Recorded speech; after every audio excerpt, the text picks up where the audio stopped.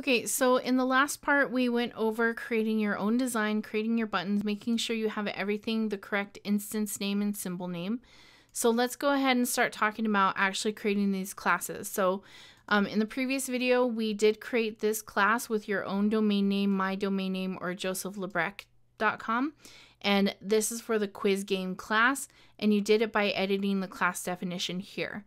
Now, what that looks like is once you edit that class definition, make sure it's animate CC, and I'll put com dot dot quiz game once you do that, it's going to automatically add some script in there for you. So you might be reading the book and saying, oh, I have to type this. No, if you did it correctly, it will already have that stuff. And now you just have to start adding your constructor code and importing other things here. So let me go. Oh, for the question bank though, um, when you create it, we did it a different way. We went to File, New, and then we went to ActionScript 3.0 class, and then you can see it looks almost exactly the same. Click on animate, add your class name, make sure it says question bank at the end, and then click OK, and you should get um, something that looks like this. So as we start going through the chapter, let's start working through this. Now, the thing that kind of is irritating is that he gives you this code and he does give it to you in proper order, um, but when you look at the end of the chapter at all the code, it's not that it you're working from the top down. It's kind of you place that code in different positions. Um, so you're going to want to look at that very end of the chapter to make sure that you're putting the code in the right place. So if I look at the quiz game.as, um, and remember that both the question bank and the quiz game should be in a directory aka folder called com and then that has a folder with your domain. So whatever your domain is here or if you used mine or joseph's and then you're going to have question bank and quiz quizgame.as you can open up both of those so that you can work on them.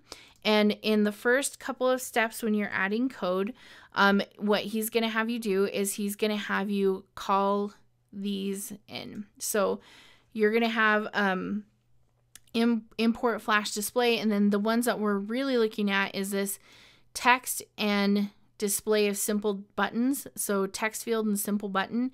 And then we defined those here.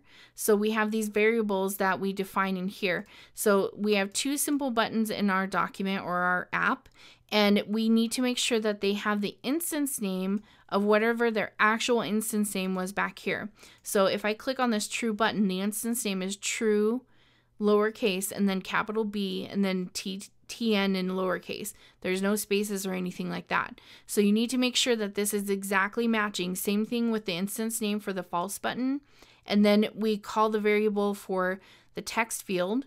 Um, and we have question text and status message, which again, if I click on question text and status message, ma- the status message, the instance name is exactly the same. So make sure you add those in there and that you've got it right. If you changed your instance names, that's okay. Just make sure that they match in your script. Okay. So once you do that, you're going to do this status message text is a blank array here. And that basically means that your status message that has these ellipses, that's just placeholder text. And this is going to tell them when it's incorrect or correct. And if the first time they get into their app, they haven't even answered a question, it's going to be weird for them to see just the three dots or incorrect or correct. So basically, what you're writing here is you're saying that the first thing that it the status message should look like is empty. It should have no answer, no text in it when we first start the app. Okay, so the other part of this is that you have to create the JSON file. Now, I gave you the JSON file in the student files, um, but you can create this with any basic code editing program. So on a Mac, everybody has automatically on their computer something called TextEdit on a PC, you have a program called Notepad. Those are really basic programs, but they are free and already installed on your computer. So you can use those to edit um, the JSON file or create a JSON file. So I can right click and choose Open With, and this will usually show me what programs can edit code. Now, for some reason, mine says Excel can open it. I, I don't, I've never seen that, but here I have Text Edit. Text Wrangler is a free one that has some code hinting and coloring that you can download from the internet for a Mac. For PC people, if you do Notepad, that is a free program you can download to your computer that has some code hinting and is a lot easier to work with. If you have the Creative Cloud, you might have Adobe Edge Code CC. So this is the one that's going to open for me, or you can download it or I'll open that code in Dreamweaver and edit that as well. So I'm going to go ahead and just open this questions.json. And for this one, I've already created it for you because I figured you wouldn't have a lot of time and you wouldn't want to type all this. But basically, it's saying this these are all the questions, and for each curly brace set, this is a new question. So we're defining it as one of the questions, and then this is the text of the question. Flash Professional can output to HTML5 canvas. So this entire thing is a statement, and then we define it as a true and false question, and then we say whether or not it's actually true or false. So you are not going to use the Flash or Animate CC or whatever he created.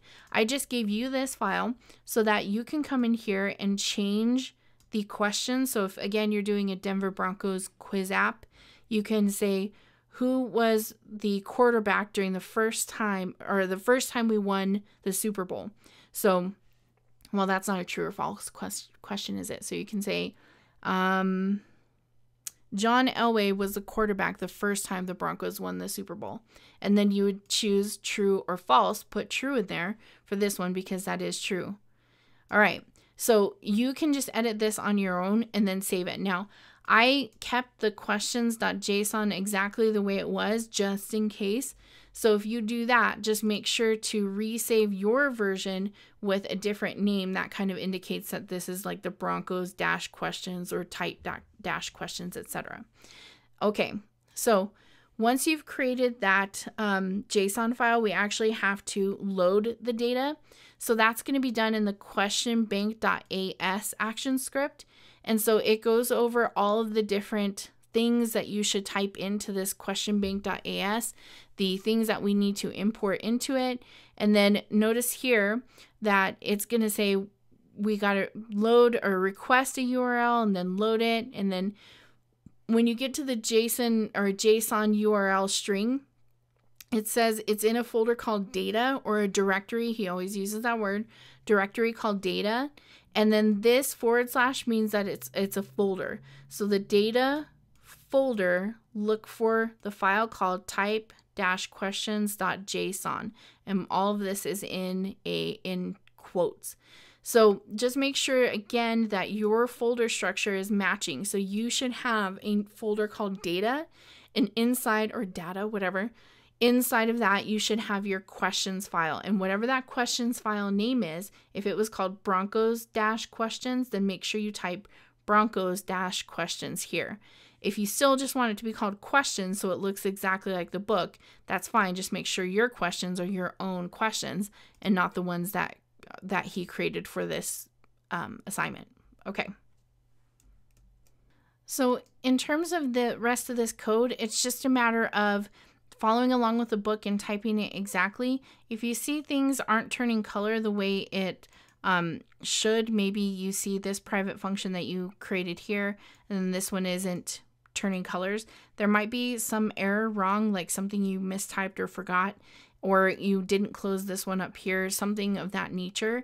So just watch for that color coding and just compare yours to mine. Like just put it side by side with this video so you can see if it's right. And notice that I have things out of um, order than what he maybe talks about him in the book, but that's because um, by the end of it, this is what the actual order should look like. So I know it's kind of confusing in that regard, but so right now the quizgame.as that is already tied to our app because we've tied it in the class here.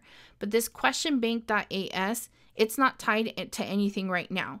It is loading the JSON file and it's allowing us to load a JSON file, but it's not tied into the quiz game or, or to the actual FLA file.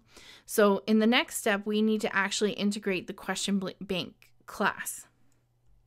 So in the book, he actually breaks this up. Like he doesn't start loading these private functions um, until after he comes back into the quizgame.as and this is where you kind of tie that question bank in with the quizgame.as So you load that question bank into quizgame.as and then he has you doing like the question bank and the array and all that stuff. But we haven't created the array at this point. Um, and then he'll go back to the question bank and then have you um, creating the array.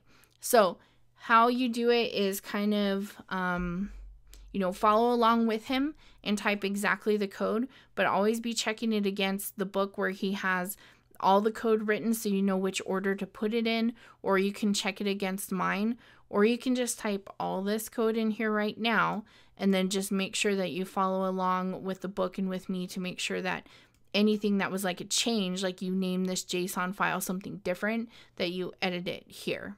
Okay, so this is the full question bank.as. Um, you should see three curly braces at the end. Look for color coding.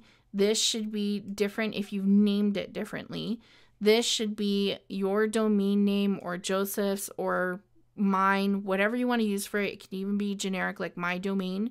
Um, so just make sure that's matching and that's matching whatever you have in your folder structure here and your class name. So I know I keep saying that, but just in case. Okay. So then when you come back into the quiz game, um, it's going to keep doing things like the question max and the question count. And so that's going to help you with um, how many questions are going to happen in the game and what their point values are. Um, and as you keep going through, it'll say when you get to 100 out of 100 points and then the game over. And so you see all of these, these are the answers that are going to come into the status message, correct or wrong. So if it's basically saying if the current answer is true, then put correct. If else, if it's not true, then put wrong. So it's that's where it's going to come in and say, you know, yes or no, you got it right or wrong. Same thing if the current answer is false and they clicked false, then it's going to say correct. If they if else, which means they didn't click false, they must have clicked true, then it's going to say wrong. So as you go through here, this is kind of, you know, yeah, you're like, whoa, curly braces and then not so curly braces and all these different call and functions and variables and classes, but just follow along with the action script and all of this should be pretty much the same um, as what um, I don't think there's any and I th- I don't think there's any kind of like variables in here. It's that domain that can be the variable if you've changed that. Um, and unless you change like instance names which hopefully you didn't because it make make things a little bit harder um, but just make sure that the instance names whatever you used is what is happening in code so if you used what he used then your code is going to match his code which matches my code so um, i think that's it so make sure that you look at yours based on the book and based on mine and pause this in here and look for any kind of weird if you miss one semicolon, it can mess everything up. So check that and we will continue with the last part of this video.